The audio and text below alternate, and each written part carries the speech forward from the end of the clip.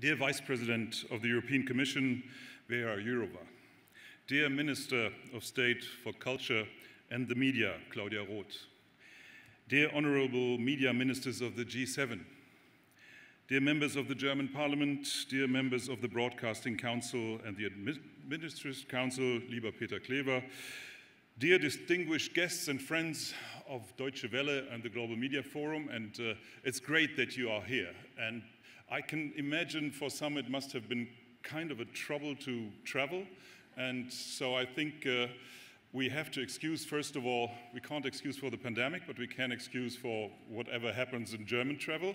Um, so don't, don't take it uh, um, personally. And um, I, I, hope uh, the return home in, in a couple of days will be much easier.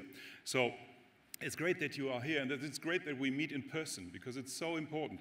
Because the, the Global Media Forum is about networking, it's about talking to each other. And I think this, this is something which we can do now after two years of uh, digital meetings. Uh, I think it's now really time to meet in person. And this is the strength of this meeting, to see all of our distributors, partners around the globe of the DW Academy, of the programming. So and this is really wonderful to see you all here and shows the diversity of our world. So again, it's a big applause now for you all that you came here. Thank you very much.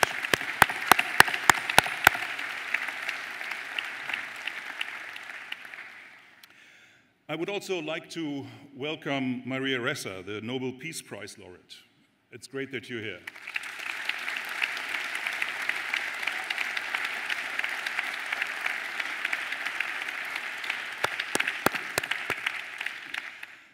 Ladies and gentlemen, these are turbulent and dangerous times, with Russia's war against Ukraine raging within the borders of a sovereign European country.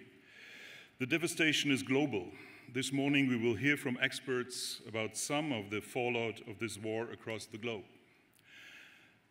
And on the other hand, this is one of the times in history when journalism can definitely prove its relevance. International news agencies and media like DW, or our friends from France Médias Monde, USAGM, or the BBC, we now have a special responsibility. We cannot stop this war, but we can contribute to decisive political action by keeping the fate of hundreds of thousands of people in the headlines. Two Ukrainian journalists have been essentially in exposing the suffering after the Russian invasion of their country. It is my honor to hand the DW Freedom of Speech Award this afternoon to Mstislav Chernov and Evgeny Maloletka. Their reporting for Mariupol changed public perception of this war in a fundamental way. I also welcome Jody Ginsberg, the president of the Committee for the Protection of Journalists, who is here today to give the laudatory speech for the award. Jody.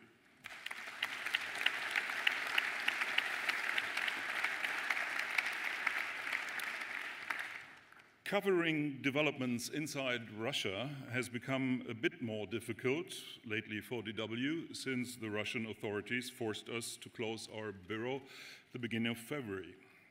Our team is now working from temporary exile in the Latvian capital of Riga.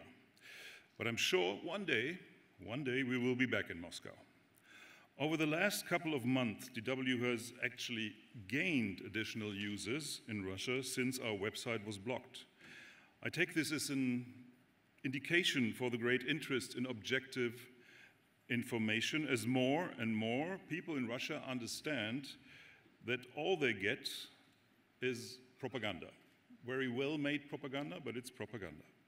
Free media has to deliver unbiased news and facts. This applies not only to Eastern Europe countries, of course, but also to many countries in Asia, Africa, and Latin America. Unfortunately, the numbers of governments that are choking freedom of opinion and free press around the globe is growing. We are facing a storm of disinformation, propaganda, and censorship. When the free and independent voices work together, we can withstand this storm and make a difference. I hope, or rather, I am convinced that the Global Media Forum will provide you with lots of helpful information and inspiration to take on this challenge.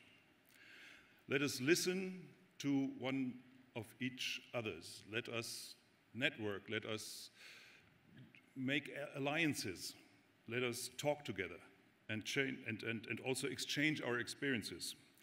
We're part participants from 100 countries are now here, sharing their individual perspective. This is unparalleled.